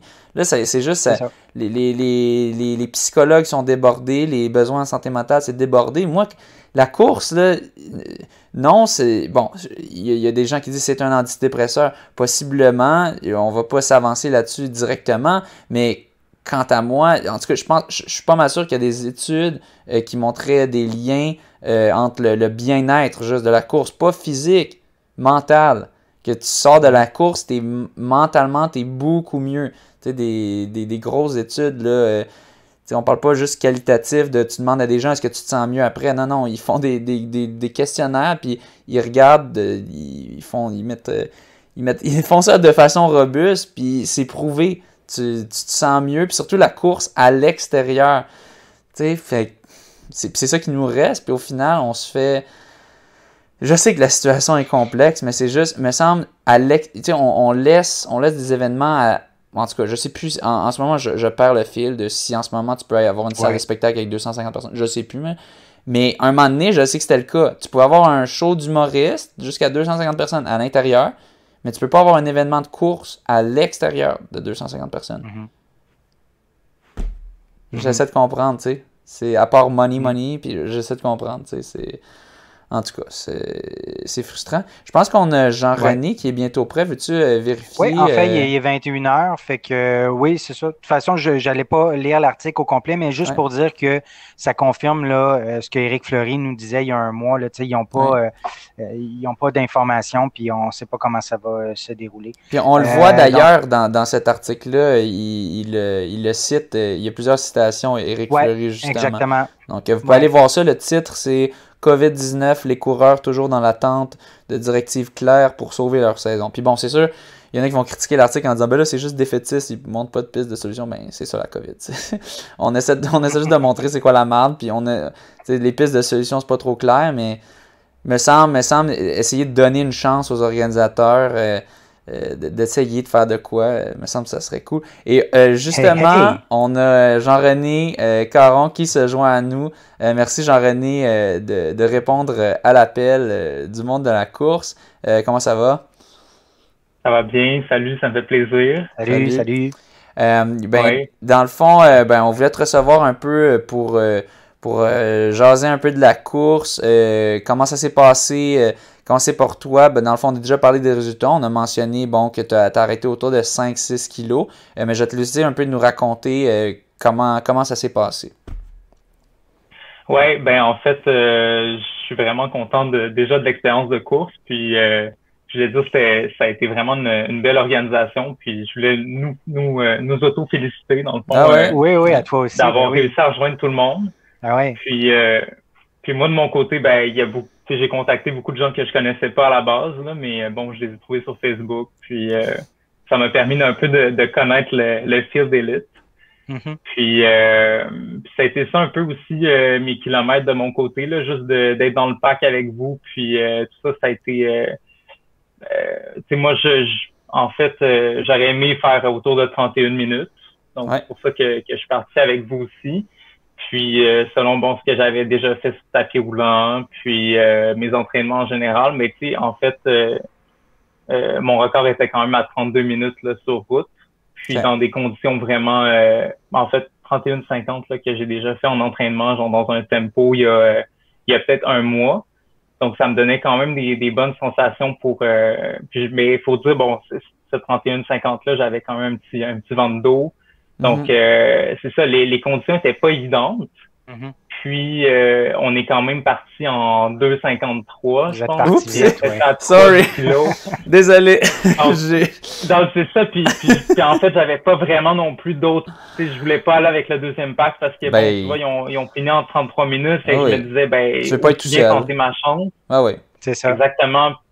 C'est ça, je voulais pas être tout seul. Puis, je me disais, ben, je vais essayer de, de juste. Euh, j'avais peut-être l'impression qu'il y aurait comme un deuxième pack, peut-être qu'il aurait pu se créer. Ouais. Puis je, sais pas ce que je, je l'ai j'ai senti même après comme euh, peut-être 2.5 3 qu'il y avait comme peut-être un petit euh, un petit quelque chose puis je t'ai vu juste euh, sprinter devant moi puis aller les rejoindre. Oui. Ça a été vraiment un un petit changement de vitesse assez rapide. Là. Ben, c'est ça, je, on, va, on va jaser justement de la course au, au, fur et à mesure, donner nos impressions. Puis tu sais, c'est ça, un moment donné, j'ai vu il y avait toi, peut-être La Bonté, euh, puis peut-être Léo, euh, je sais pas son de famille, là, mais Léo. Puis je pense que j'ai vu un moment donné, ça, il commençait à avoir un petit, euh, un, petit écart qui se creusait. Puis là, j'ai fait comme, oh oh. Je pense, est-ce que c'était avant qu'on ait le vent de face, dans le fond, ou c'était après? C'était avant qu'on retourne le coin puis qu'on ait le vent de dos.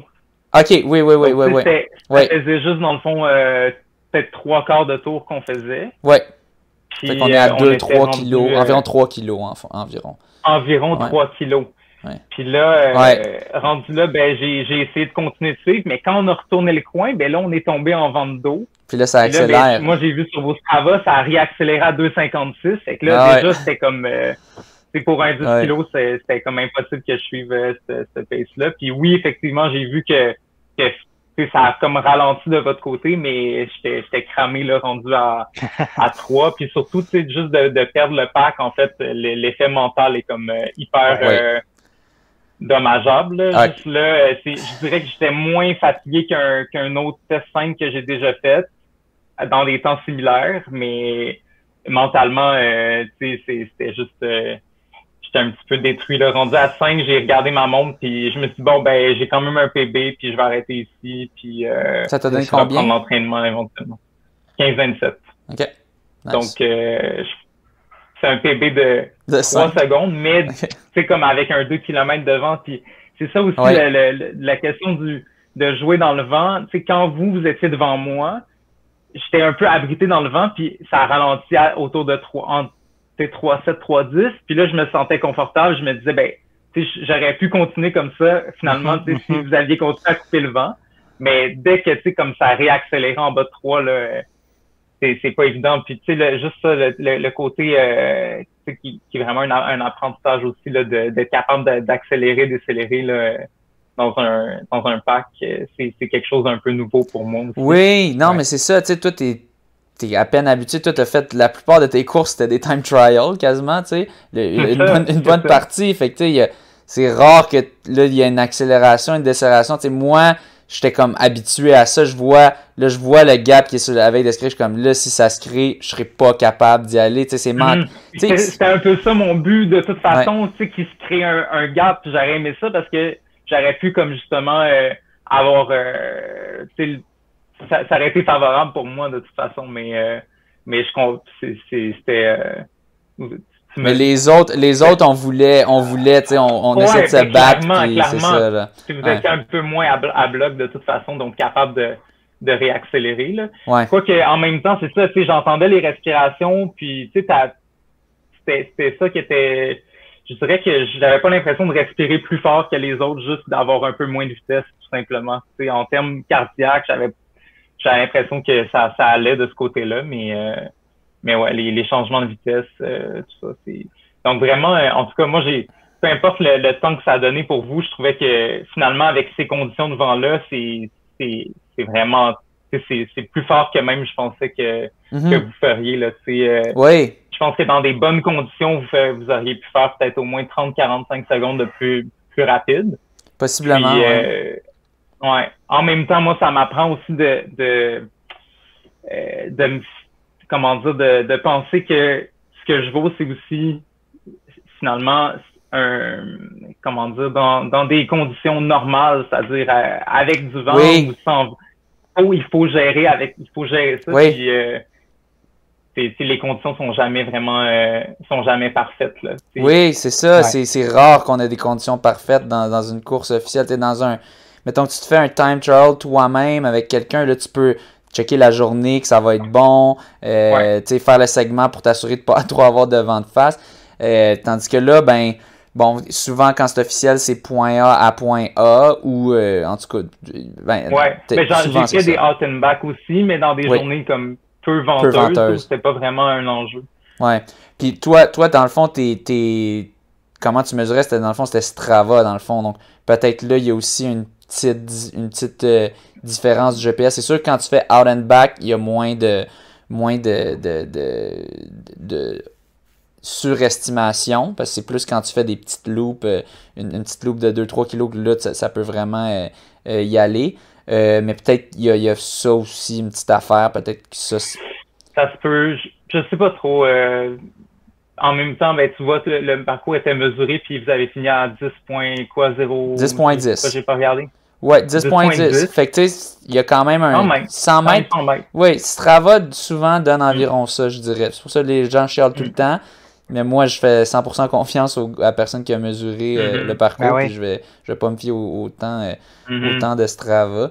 Mais, euh, mais ouais. non, c'est vrai, je suis un peu à blâmer pour le, départ rapide, mais tu sais, moi, moi, dans ma tête, le but, c'est pas de partir rapide, c'est juste je suis excité, tu sais, c'est la première course en un an et demi qu'on fait. Puis Absolument, puis c'est normal, puis je m'attendais à ça de toute façon, parce que je savais que le but, c'était pas nécessairement de, de faire le temps le plus rapide, puis vous avez fait un split positif aussi, là, c'était vraiment juste de, de, de, courser, puis j'acceptais que probablement ça partirait vite, mais j'avais espoir que peut-être qu'il y aurait un ralentissement qui, qui me permettrait de juste suivre un peu plus à mon rythme.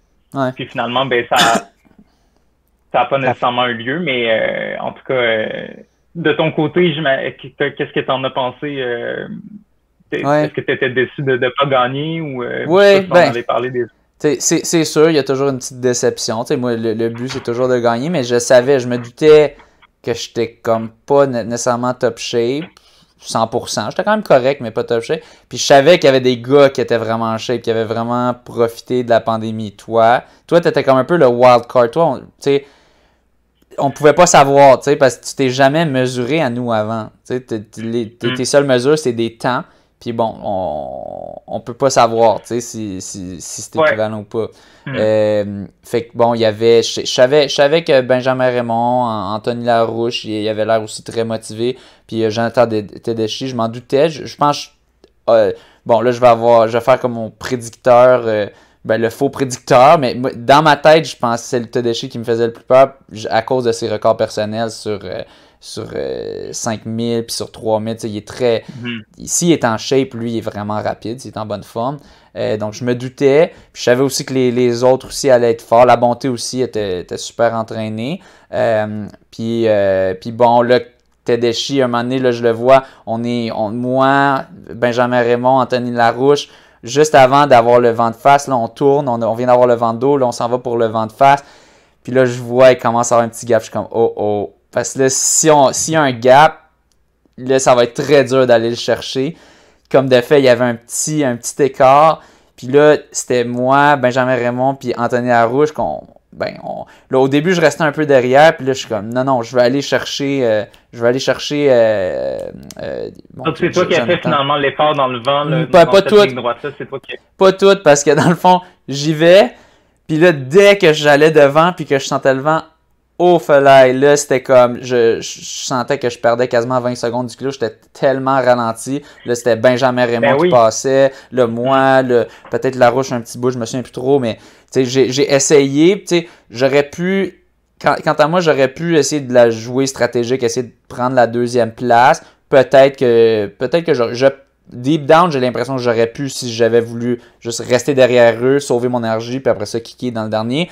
Mais mon objectif à moi, c'était vraiment, je voulais essayer d'aller chercher Tedeschi, même si après recul, bon, c'est sûr qu'il était dans un autre niveau de forme que, que, que j'étais pas.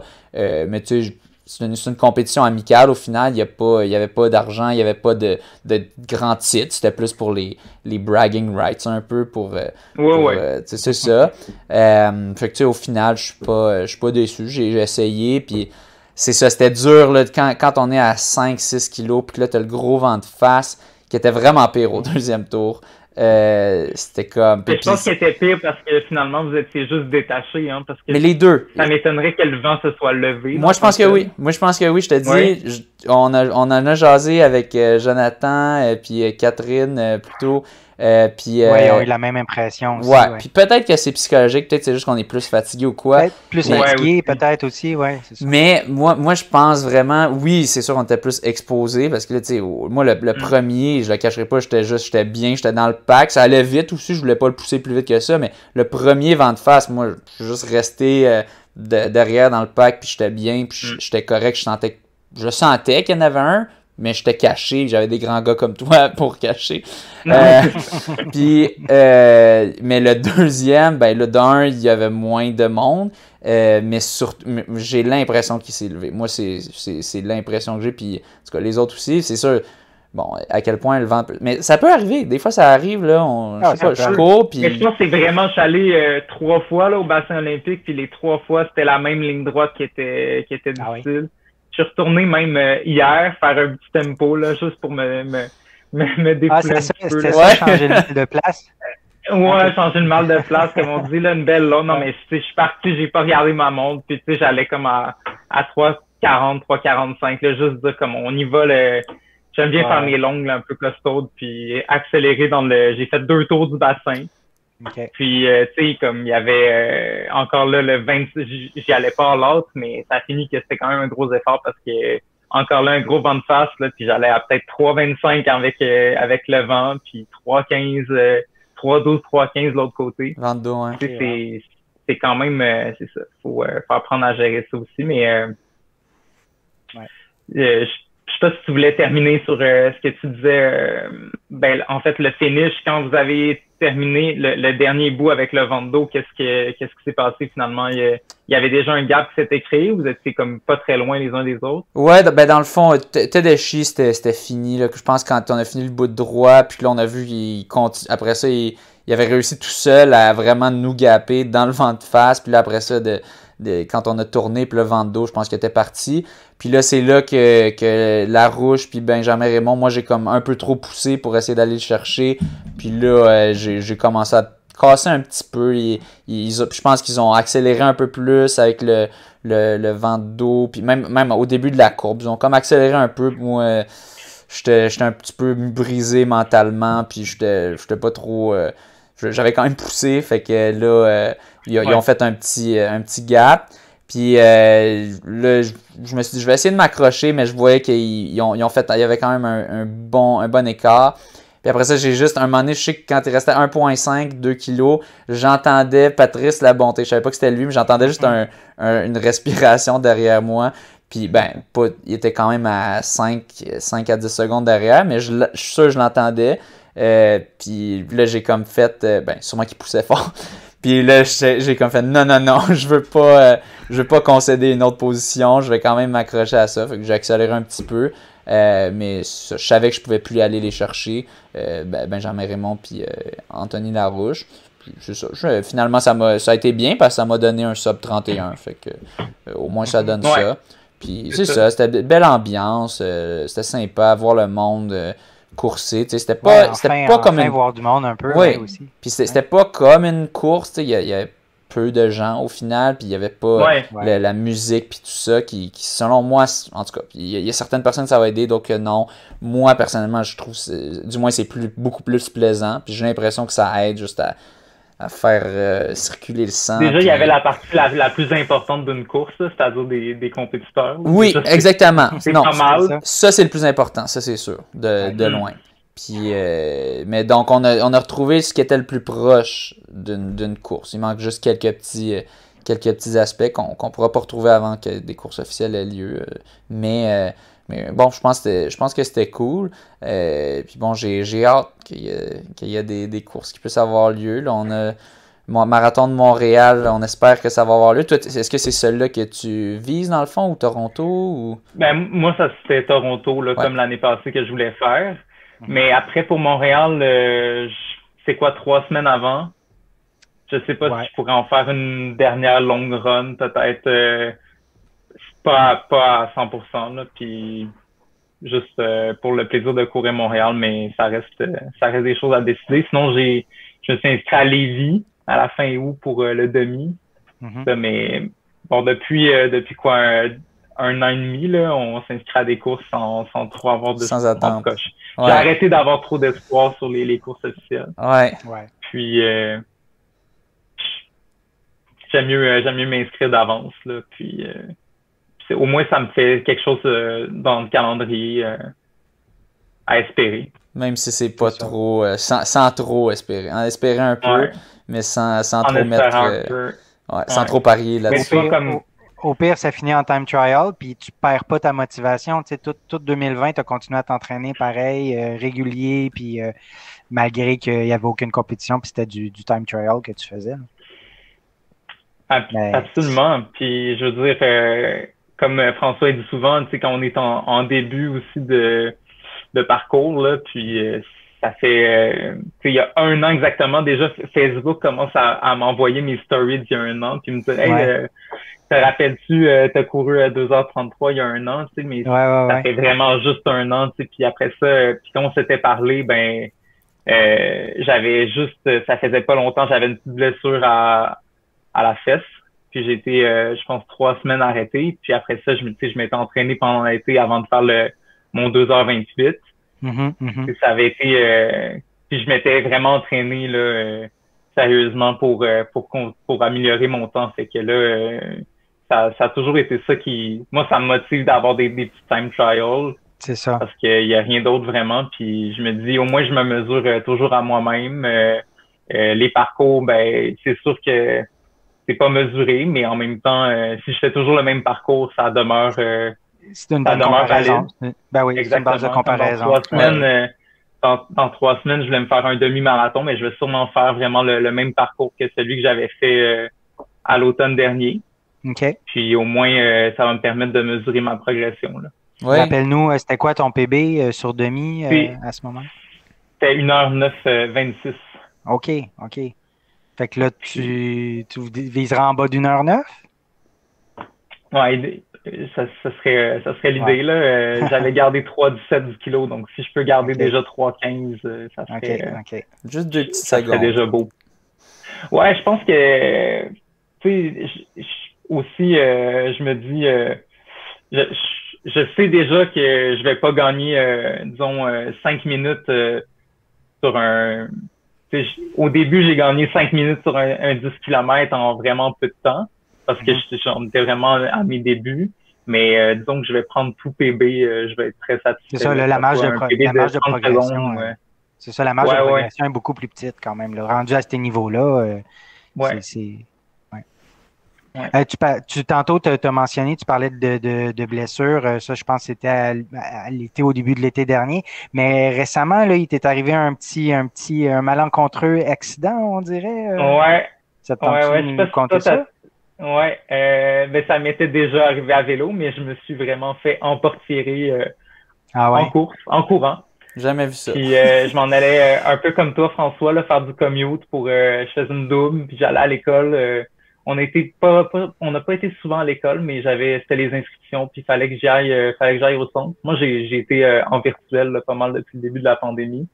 Puis euh, j'ai j'étais déjà rendu, je pense, à 10 km, puis j'étais bien, il faisait beau. Je me disais, ah, je vais Mhm. faire un autre petit tour. puis c'est dans le de- dans le dernier petit tour que je fais un- vraiment un tour du carré proche de, de où je travaille, qui est dans bon, j'étais dans Saint-Léonard. C'est un quartier où je vais pas souvent, mais je pense que les les, euh, les automobilistes sont peut-être moins habitués là, que dans Villeray, par exemple, ou je sais pas, ou dans Ouais. Antique, là, j'ai jamais eu de problème avec les voitures. Puis d'habitude, ben, je cours pas sur le trottoir parce que je fais peur aux piétons. Puis Mhm. j'aime bien courir dans la rue. Des fois, on s'inverse des voitures parce qu'on me voit. Mais là, cette fois-là, j'étais vraiment euh, du même côté que, les, que des voitures. Puis euh, c'était une voiture qui était garée sur le côté, les phares éteints. Donc, j'avais vraiment aucune possibilité de savoir qu'il y avait quelqu'un dans la voiture. au moment où je passais, tu sais, puis j'étais peut-être à 4-10 du kilo, là, mais j'étais Hmm. quand même... Euh, j'étais pas vraiment en mode alerte non plus. euh, Non, non. euh, j'aurais tu sais, puis euh, c'est ça je suis tombé je sais pas trop ce qui s'est passé mais je pense que la portière m'a pas frappé en tant que telle j'ai juste essayé de l'éviter puis je suis tombé directement sur la hanche Ouch. puis là ben j'ai eu un, un gros bleu mais ce qui, qui m'inquiétait un petit peu plus c'est que j'ai commencé à avoir des douleurs à l'aine puis là je me suis dit c'est bizarre je suis quand même tombé juste sur la hanche vis-à-vis de ce qu'on appelle le grand trochanter là qui est un peu le en fond l'os qui est, qui est plus saillant là euh, en, en haut de la hanche. Puis euh, je suis allé voir euh, le- mon ostéopathe là, que je vais voir quand, quand il m'arrive des petits, des petits malheurs. Puis euh, il m'a dit écoute, euh, fais attention à ça. Et on sait jamais, t'as peut-être une lésion. Et que j'ai j'ai été deux semaines à. Je me suis. Moi j'ai quand j'ai commencé à me remettre en forme, je faisais du Zwift, du vélo Mhm. vi- virtuel. Ouais. J'ai repris mon abonnement. J'ai déjà tout mon kit pour faire du vélo, euh, un peu comme des, du jeu vidéo, mais euh, tu fais du vélo, là, du vélo de route Ouais. euh, chez nous. Puis euh, d'ailleurs, j'ai, j'ai, on voit le setup là, sur la télé. Puis, Ouais, avec le euh, ventilateur aussi, là, ouais. Avec le ventilateur. J'ai fait peut-être 10 jours euh, de vélo, puis je faisais des efforts d'à peu près, je te dirais, entre une demi-heure et une heure, vraiment euh, hyper lactique, là, genre juste Ah, euh, all out. Puis euh, j'ai fait ça Wow. pendant 10 jours, juste parce que j'avais envie de garder la Sans- forme. Puis bon, c'est sûr que douleur? j'aurais pu... ouais, sans douleur, douleur, aucune douleur, ça allait bien. ouais. Puis à un moment donné, je me suis dit, bon, ben quand j'ai commen- j'ai arrêté d'avoir des douleurs à la marche, parce que là, juste enfourcher mon vélo, ça me faisait mal. OK. j'ai dit, bon, ben, je vais. Ça, c'est arrivé peut-être, euh, je dirais, un mois avant. Euh, avant, ben, ça fait un mois à peu près. Donc, j'ai été deux semaines arrêté, j'ai recommencé deux semaines après, puis là, ben, j'ai essayé de faire des plus petites semaines un petit peu pour, euh, pour être frais, là, pour la course. Ouais. Mais avant ça, j'étais sur des semaines de à peu près 160 km, là. Aïe, aïe. Mais, ça a été. c'est un petit malheur. Je sais pas si ça ça t'est déjà arrivé, mais en tout cas, il faut faire attention à ça là-dedans. Mais j'étais tellement désolé, puis tu sais, j'étais super proche de, de mon lieu de travail. Bon, je peux, je peux vraiment rien faire pour moi. Là, elle me dit, ah, je pourrais te donner un lift, mais tu sais, on j'étais à cinq minutes, puis là, il y avait ses enfants qui étaient dans l'auto. Ouais. Regarde, laisse faire, je vais, je vais, je vais jogger jusqu'au travail, puis juste, ciao, bye.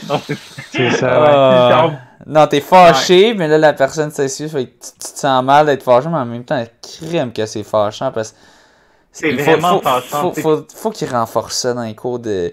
Je sais pas, bon, je, pense dans mon, dans mon cours de conduite, quand j'avais fait, me semble qu'il mentionnait oui, comme qu'il faut oui, que oui, tu... tu dois regarder ton, ton rétroviseur avant d'ouvrir. Ouais. Tu dois, c'est ça, faut que tu regardes ton rétroviseur avant d'ouvrir la porte. Tu vérifies ton angle mort. Ouais. ouais mais mais c'est sûr qu'en tant que coureur, on est comme c'est trop lent pour les pistes cyclables, euh, trop vite pour les trottoirs, trop dans le chemin pour être dans la rue. Mm Et puis ça serait le fun d'être sur des, des belles trails là, au Colorado, mais c'est pas c'est pas le cas. C'est pas, pas ça qu'on a là. Puis, euh... mm, mm, mm. Non, c'est pas évident en ville. C'est ouais, non, faut toujours, ben, il faut toujours assumer que toutes les personnes sont des idiots, tous les chauffeurs, tu sais, c'est pas le cas là, mais il faut toujours assumer ça. Tu sais, je me souviens, j'avais jasé avec, euh, euh, c'était euh, Sébastien. Mon Dieu, son nom de famille. Jessup. Oui, Jessup, exactement. Jessup, qui a eu un accident aussi. Là, ben, ouais. Lui, lui il s'était fait ramasser par un char, puis il avait perdu Ouais. des dents, tu sais, un char qui a tourné, puis qui, lui, il avait un truc de piéton, puis le, le char... euh, Ouais, ça aussi, c'est super dangereux. Il y a Ouais. souvent des, des lumières de piétons, puis les voitures ont Ah! le droit de tourner. Mhm. Surtout quand tu, puis là, tu passes en courant, donc personne te voit parce que Parce tu que tu vas peut-être vite, à 14 km heure. ouais. Mais 14 c'est ça, faut, faut toujours t'assumer le pire, faut que tu sois prêt à sauter sur le hood, faut que tu sois prêt à... à, ben, ben, euh, moi, moi, moi, j'évite toujours, tu sais, puis je, je veux pas dire que je suis parfait, là, mais je- j'essaie toujours d'éviter de passer même proche des chars parce que j'assume. J'ai toujours cette crainte-là. Je connais, je connais du monde qui sont fait en tirer, puis on connaît des histoires de monde qui en meurt. là, tu sais, C'est pas. C'est pas. Mhm. C'est sûr, Non, en course, peut-être moins, mais. Que tu... ouais.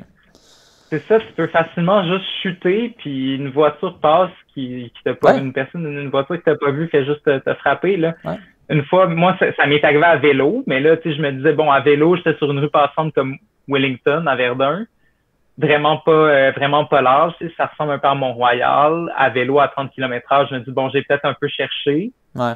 Tu sais, je- mais à pied, je pensais même pas dans une petite rue résidentielle. Là, je pensais même pas que ça, ça pouvait arriver. Est-ce que ça. maintenant ça, ça a influencé mon, mon entraînement? Ça se peut. Euh, Sais, Ça m'a pris une semaine après ça à juste me défaire de mon mal de jambe, je pense, de vélo ou juste de, Ah, de- définitivement que des muscles qui étaient comme plus Ouais. habitués à, à courir. Là. Ouais.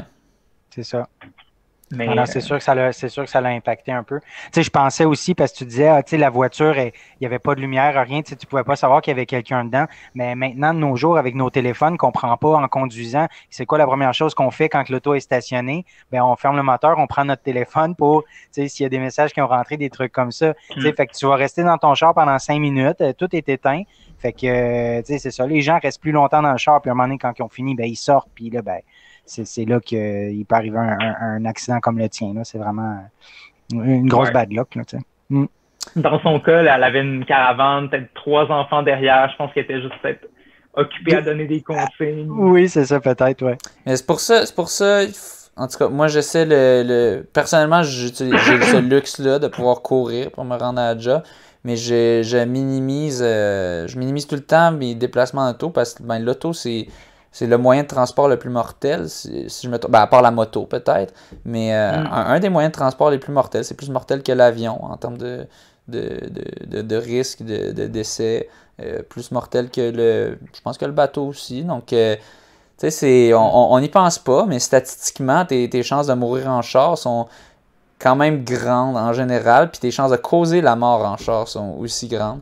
Donc bon, c'est ça, je, je Ouais. sais, il y a des gens qui Le habitent- vélo est vraiment dangereux aussi, je pense. Le vélo. euh, Ah ouais, pour, pour le vélo, pour le cycliste, oui. Ouais. Oui, Ouais, Mais tu sais, il y a les statistiques de, de, risque de mort, mais les statistiques de risque de blessures sérieuses. Tu sais, quand tu es à vélo, je pense que tu peux avoir aussi des blessures sérieuses que tu n'auras peut-être pas non plus dans une auto étant donné l'habitacle, tout ça, la sécurité. Mais si tu es, euh, en, si es en vélo, tes risques de. Si tu es actif, tes risques de mort sont extrêmement réduits ah, par rapport à quelqu'un qui est sédentaire en char. Puis ça. Oui. bon, c'est ça, peut-être que notre auditoire. oui, peut-être peut notre auditoire à base est probablement actif un peu. Mais euh, je me souviens, je, regardais récemment une conférence de Blaise Dubois, puis il, il arrêtait pas de répéter tout le temps. il disait, il parlait des, des blessures, puis il disait bon, tel risque de blessure minimaliste ou peu importe, mais il disait peu importe, dans tous les cas que tu sois minimaliste, maximaliste, peu importe, tu as 62% moins de chances de mourir vu que, es, vu que tu cours. vu que tu cours, juste que tu cours. Ah, je, pense même pas que c'était d'être actif. Peut-être que c'était ça qu'il voulait dire. Mais tu sais, au final, au final, il y a aussi ça. Mais euh, c'est ça. Puis là, maintenant, je, je, privilégie la trottinette électrique aussi, des fois, pour un déplacement. mais mettons que c'est pas. Euh, Là, elle m'a pété dans les mains l'autre jour. Fait que là, je vais. Euh, je, suis allé voir le. C'est pour ça, il y en a qui me demandaient, justement, je voulais aborder ça. Il y en a qui me disaient pourquoi tu as fait un 18 kg le jour d'avant euh, la course? Ah il y a plusieurs personnes qui se demandaient pourquoi. Dans le fond, j'étais. Ma, ma trottinette m'a brisé. Il y a le, un, fil qui était relié au moteur arrière qui, euh, à mon avis, complètement. C'est un. Quant à moi, c'est un une, une fatal flaw, une, une erreur de design euh, du, du, de la mhm. trottinette. Puis là, ça a complètement été sectionné. Ils sont il reste à peine de fil. Fait que là, le pété, elle m'a pété dans les mains. Le samedi, j'étais allé la porter, mais j'ai oublié d'amener la clé parce qu'il y a une petite clé pour, euh, pour la partir. Donc là, j'étais au shop, là, ça me tentait pas de prendre du trafic puis tout. Au final, c'était plus rapide à la course à cause que la 40 était fermée. Fait que là, je me suis rendu en jog, c'était 9 kilos, me rendre en jog, et puis ensuite un autre 9 kilos revenir avec la clé. Euh, donc, c'est pour ça que j'ai fait un, entraînement un petit peu ticoun euh, la journée d'avant. Parce que, mettons, avant un 10, c'est plus, peut-être plus euh, judicieux faire un 60 minutes, pas un, pas un 1h30, 18 kg, là, ou 1h40. Je suis plus trop sûr combien de temps ça m'a fait. Mais, mais ouais, c'était, c'était aussi pour ça. mais bon, peut-être la trottinette, c'est moins, peut-être moins sécuritaire que le vélo et la course. mais bon, je fais attention quand même quand je, je chauffe là-dessus. Euh, mais c'est ça, faites attention. Je comprends que. Ouais, j'allais juste dire, je comprends que ça, ça, te plaise, euh, le, la trottinette électrique, là, moi-même, pour euh, sauvegarder mes jambes un petit peu. oui. Je me suis abonné à Bixi. Oui. Mmh. Puis là, j'ai, j'ai payé mon, mon 89 J'étais bien content, mais finalement, je me retrouve à toujours prendre la, la, le vélo électrique. Il me charge des frais en plus, mais c'est juste ah, plaisant de, ouais. de, d'aller à 30 km h sans force. Comme si j'avais un, vélo, un vrai vélo de route. Non, mais c'est ça. En, gros Bixi. Ah non, moi j'adore ça. J'adore ça. Tu, tu pèses sur une gâchette. Ben, en, en trottinette, c'est encore pire. Tu pèses sur une gâchette puis tu clenches. Euh, tu clenches tout le monde, bien sûr, euh, dans la sécurité, inquiétez pas, je suis pas un ticoun, là. Je, je, je, je, passe pas les gens à 50 km/h, je ralentis. Mais euh, non, c'est le fun. Puis, tu sais, en tant qu'amateur de vitesse, tous les deux, puis toi, tu étais, un amateur de vitesse, de très haute vitesse avec ton patinage de vitesse mm-hmm. avant ben, euh, on, aime ça quand même, des fois, euh, faire un petit peu de vitesse. Euh, donc, c'est ça, faites attention. faites attention. Il, peut y avoir des gens qui sont distraits à tout moment. puis, bon, on ne veut pas finir là-dessus. Mais merci beaucoup d'être passé, Jean-René. Je pense, Mathieu, on va finir, on va finir là-dessus parce que l'épisode est quand même long. Puis, je pense qu'on aura d'autres sujets qu'on pourra discuter à un autre épisode. Mais fait que c'est ça. Ben merci, Jean-René, aussi d'avoir nous avoir poussé, m'avoir poussé un peu dans le cul des ben, fois. Cette idée-là, euh, oui, c'est ça. Pour... amené cette idée-là, jean C'est ça, parce que bon, moi, j'en jasais très, euh, moi, Mathieu, on en jasait très, très peu, euh, très dans les airs. Puis là, moi, bon, il faut toujours qu'on me pousse un peu. Pour, puis là, Jean-René, tu m'avais dit, ben là, ça va être quoi les détails, là, là, Puis là, on avait, on avait fait mm. tous les détails de cette course. Puis ça a été super ça, cool. Ça a bien à donner que finalement, ben, au cours Montréal, ça a eu lieu. Là, on s'est dit, OK, on fait plus notre truc. Puis finalement, ça. revient. Il y avait des lignes par terre, le parcours était mesuré. Fait que c'était comme le, meilleur des mondes, finalement. C'est ça. C'était parfait parce que c'est ça, on court Montréal, comme j'ai dit, je suis pas sûr qu'on aurait pu partir à 8 en même temps. Peut-être qu'il aurait fait un des, C'est ça, fait que c'était cool, tu sais, de même, on peut faire avoir un, petit pack. Euh, puis, euh, ouais, puis c'est ça. Peut-être qu'il y aurait de quoi de même qui se serait fait euh, organiquement parmi les personnes euh, frustré de ne pas pouvoir faire encore moral, mais euh, du moins ça, ça l'a confirmé. Euh, puis c'était très cool. Donc, C'était une très bonne. On avait déjà commencé à faire l'amorce aussi. C'est ça. On peut se donner une petite tape, tape d'épaule. Comme je dis à mes élèves, vous pouvez vous, pouvez vous applaudir. Donc, tape d'épaule, oui. C'est ça. Donc, ben c'est ça. Merci de t'être joint à nous, d'avoir raconté un petit peu ta course, l'entraînement, puis tes objectifs futurs avec le marathon de, Toronto et peut-être le demi, tu avais dit de, de Lévis? Le demi de Lévis, ouais. Super. Ouais, demi de Lévis, oui. Super. Ben, on, te, on te souhaite votre chance, au plaisir de se recroiser, on, espère, sur un départ de, de course, peut-être, bon, si jamais tu fais une longue ou, au marathon de Montréal, mais je te le recommande pas. Moi, je l'ai fait, j'avais fait ça, Montréal, puis ensuite Toronto, euh, puis je pense qu'il y avait un mois d'écart entre chaque. Puis euh, avec un petit peu la même mentalité. Puis bon, j'ai manqué par 19 secondes mon standard euh, à Toronto. Euh, mais en même temps, en même temps cette année à Montréal, ça risque d'être beaucoup plus, beaucoup mieux fait. Puis ah, pendant que j'en parle, j'ai contacté les organisateurs parce qu'ils ont un programme d'élite. Toi aussi, si jamais, si jamais ça t'intéresse ou s'il y a des auditeurs rapides qui s'intéressent, allez voir ça. Il y a une section pour les élites. et bon, parce que j'avais mentionné que le parcours, c'est la même affaire que l'année passée, que le, marathon se sépare du demi, puis ensuite le rejoint mm-hmm. autour de, 10 kilos. Puis là, on aurait le problème des coureurs rapides du marathon qui seraient pognés derrière des coureurs lents du demi. Euh, mais on m'a dit, euh, quelqu'un dans l'organisation m'a dit qu'il va y avoir un corridor avec des cônes pour les coureurs du marathon. Donc, euh, ça ne va pas être qu'il y aura deux départs à des heures différentes. C'est ce qu'on avait supposé, étant donné, bon, on se disait, ça va faire moins de monde, ça va être moins dense, fait que c'est plus COVID-friendly. Euh, mais euh, bon, finalement, ils vont procéder avec l'idée des comptes qui fonctionne. Quant à moi, si tu mets des bénévoles pour dire aux gens de, du demi de pas aller dans le corridor du marathon. Donc, euh, ça devrait quand même être cool. Donc, ben, à, toi, à toi de voir, selon les plans. Peut-être que on ne sait pas si Toronto aura lieu avec l'Ontario. Ça va tout changer. toujours de, où est la COVID aussi, où sont les vaccins. C'est ça, exactement. mais au plaisir de se revoir. moi aussi, euh, j'avais écouté votre, votre entrevue, pas votre entrevue, mais votre, votre épisode de nouvelles aussi. Puis euh, je trouvais ça aberrant qu'ils ne changent pas ça puis que ça reste la, aussi problématique que l'année passée. Ah, je capotais. Imaginez en train d'essayer de dépasser les gens à à 3,20 kilos. L'enfer. Euh, ça devait être l'enfer. Dépasser des gens à 5, 30, 6 kilos. L'enfer. L'enfer. Tu sais, c'est. Tu sais, euh, de même, tu pouvais pas savoir il était où le, coureur devant toi au marathon. Tu sais, si j'avais pu voir au loin, j'en vois un, hey, je peux essayer d'aller le chercher. Puis comme de fait, il y en a, je me souviens plus exactement, mais il me semble qu'il y en a un qui a fini pas trop loin devant moi. Puis tu sais, moi je poussais pas à 100% parce que je me sauvais pour Toronto. Mais tu sais, quelqu'un qui m'aurait dit Hey, t'es le sixième en ce moment, puis là tu peux essayer d'aller chercher un autre. Là, je pouvais pas.